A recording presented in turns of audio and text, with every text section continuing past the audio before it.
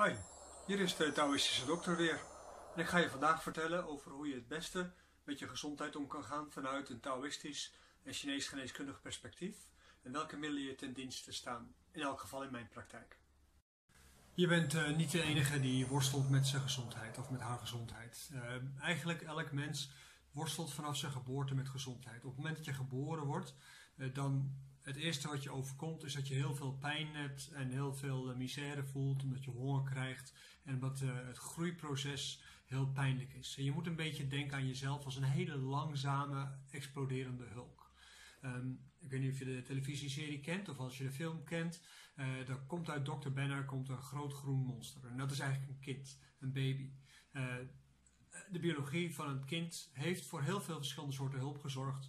Uh, waardoor het kind uh, tot op hoge leeftijd eigenlijk voortdurend uh, lichaams-eigen drugs maakt. Om te voorkomen dat het de hele tijd alleen maar huilt. Maar dat is wel de belangrijkste reden waarom jouw kinderen huilen.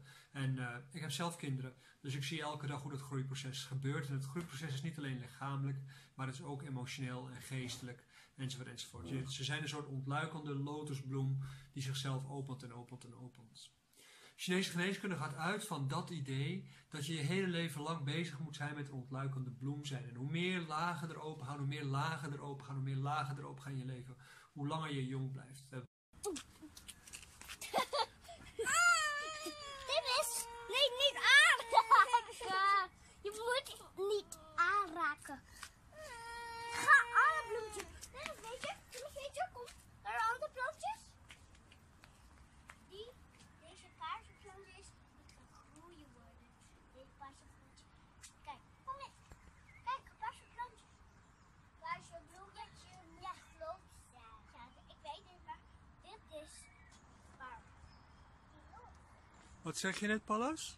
Papa, die, ik zeg die, ik zeg die paarse bloemetjes worden. Waarom dat bloemetje is zo mooi? Deze moet geblazen, deze moet deze worden, deze eerst blazen, deze niet blazen. Nee, deze moet als deze worden, schatje. Oh ja? En als die open is, gaan we blazen. Oké, gaan we? Naar school. What's happened? Deze, deze. Nee! Have this house. Still sleeping. Really? Betekent dat je dus eigenlijk uh, als uh, gezondheidstaak bezig moet zijn met jezelf voortdurend te ontplooien, nieuwe dingen van jezelf te ontdekken, nieuwe dingen uh, te openen, nieuwe avonturen aan te gaan. Zodra je daar eigenlijk mee stopt, op dat moment begint eigenlijk veroudering in te treden en begint stagnatie op te treden. En stagnatie is in de eerste teken van je veroudering.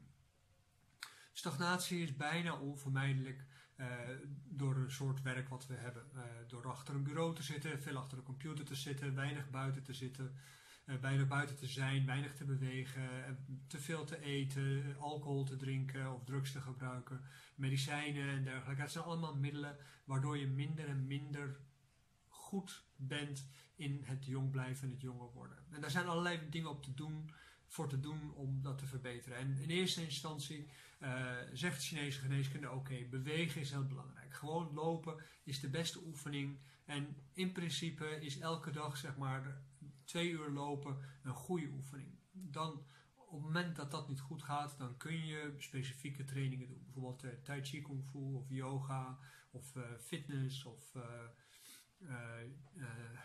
meditatie enzovoort, enzovoort. Allerlei soorten dingen waardoor je bewuster met je lichaam om leert gaan en de beperkingen van je lichaam leert overwinnen. Um, je lichaam hoort dus vrij en fris te voelen en je hoort dus allerlei dingen te kunnen doen. Een belangrijk ding wat je hoort te kunnen doen is gewoon makkelijk opstaan, um, altijd meteen fris en blij wakker worden en ook uh, uitgerust naar bed gaan. Nou, dat was het weer voor vandaag. Ik hoop dat je wat hebt gehad aan mijn filmpje en uh, dat je daardoor betere en makkelijkere keuzes kunt maken over wat je graag wil met Chinese geneeskunde. En als je naar mijn praktijk wil komen en afspraak wil maken, dan kan dat. Je kan reageren natuurlijk uiteraard via de link uh, in het uh, filmpje en op de Facebookpagina of op de YouTube kanaal. Laat je reacties achter als je dat wil. Um, je bent van harte welkom in elk geval. Mm, mocht je um, mee willen doen aan lessen, of wil je behandeling hebben, of wil je graag privélessen volgen of groepslessen volgen, dan kan dat allemaal. Uh, daar is mijn uh, praktijk uiteraard speciaal voor. Mocht je te ver wonen, dan is er altijd nog de online mogelijkheid om klassen te volgen en daardoor toch aan je gezondheid te werken. Je bent in ieder geval van harte welkom en ik zie je graag tegemoet.